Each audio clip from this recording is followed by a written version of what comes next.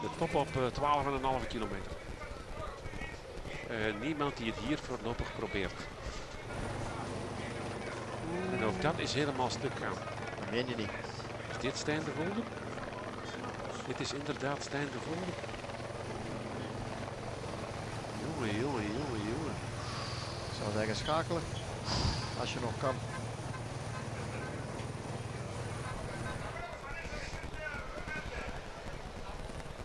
Lijkt me dit een wat vreemd opgevoerd toneeltje, maar dat is het dus niet.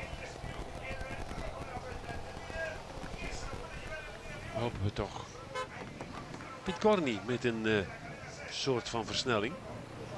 Opletten heren Lastras en Chavanel dat je niet te veel oog hebt voor elkaar.